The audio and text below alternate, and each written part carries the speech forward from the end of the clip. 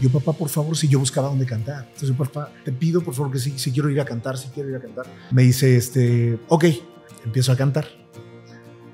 Mi papá se sale del salón. Termina la primera canción, mi papá se quedó afuera, empiezan a aplaudir. Mi papá se queda, ok.